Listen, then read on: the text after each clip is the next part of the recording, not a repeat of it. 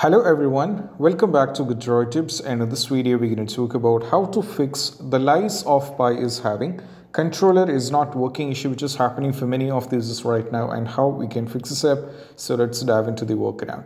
The first one is all about when you're having this particular trouble. The all we have to do is we just need to do a simple restart on your PC. For this we just need to go over here in the start Click on this power icon and go for a restart. Once after restart is done, we just need to try launch the game and that is what we have to do. Next one is all about what we need to do is we just need to do is we just need to disable or uh, enable the Steam input. That is what we have to do.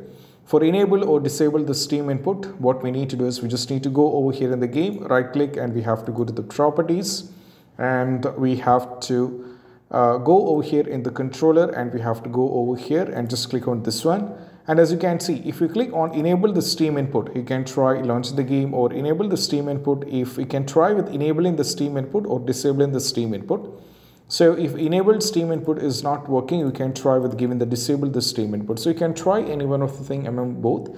So either you can go with enable the steam input and you can try with disable the steam input. Any one of the things can be done once afterwards, we just need to launch the game and it will be working fine and this is what we have to do. The next one is all about after trying with this, if the issue is still there, the next one is all about we have to launch the game and we have to use only the controllers.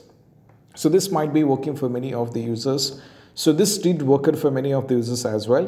So when you are launch the game and if you are using, uh, trying to play the game using the controller, it will work it. So you have to use only the controller. You should not be using anything else. Once after the game is working fine and it is smooth, you can move to the next one.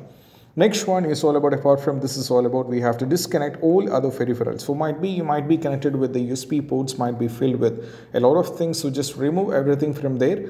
Once you remove everything, we just need to try connect it back and try launch the game and that will be working fine as well. It worked for many users we can try this out. Next one is all about we have to launch the game in the big picture mode. So for the big picture mode, uh, this is also a hundred percentage working steps which can be done. So just go over here in this particular icon. As you can see under the big picture mode, just click, click on this one. And when you go for the big picture mode, this is how it looks like. And now you'll be entering to the, uh, you know, you'll be entering to the big picture mode. And from here, we can click on Lies of P and we have to try launch the game and that will be working fine. So for many of the users, when they launch over here, it worked for them. So you can try the same. And if it's not working, we just need to go over here in the Steam. If you wanted to exit, just go to the power and there is an option called exit big picture mode and you'll be taken back. And once afterwards, we just need to go back over here and we just need to go back and uh, over here, as you can see, uh, over here if you go back you'll be able to see the lies of p and we can try launch the game and that will be working fine as well. Next one is all about after trying with this all these things. The next one is all about we have to uh, you know we have to turn off the steam overlay which is a very important step and it, it is going to work for you for sure. So just go over hit the game right click and we have to go to the properties.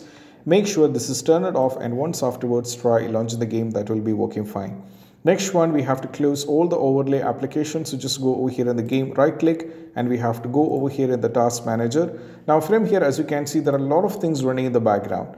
So we just need to go over here and we need to remove the Discord, which is the uh, example of overlay applications. And we have to remove the overclocking applications such as you know, uh, you know, I have to say, uh, you know, RivaTuner, you know, MSI Afterburner, etc. Just remove everything from here and once afterwards try launch the game and that will be working fine.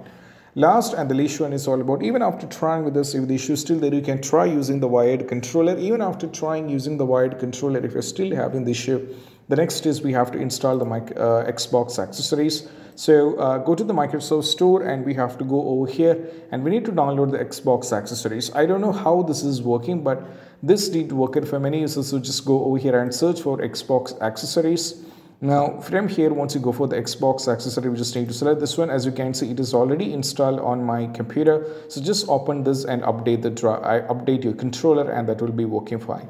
So these are the possible workaround which can be done when you're having an issue with the controller is not working and I hope this video is helpful and if you find this video helpful don't forget to subscribe and click on the bell icon for more notification. See you soon in the next video. Peace out. Bye bye.